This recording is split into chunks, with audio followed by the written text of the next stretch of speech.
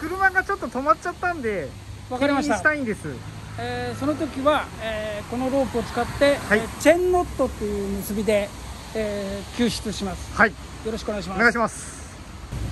これをここの牽引フックにかけます、はい。この輪にはい。元ロープの方をはい。入れてあげます、はい。でここを引っ張り出します。はい。とまた輪ができます、はい。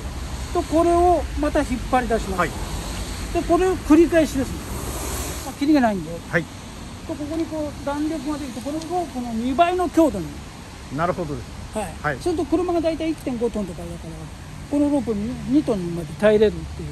これが一人でもこうこれが動くっていう。やばいやばい動いてる。はい、はい、これこんな時に使います。すごいですね。はい。以上です。ありがとうございます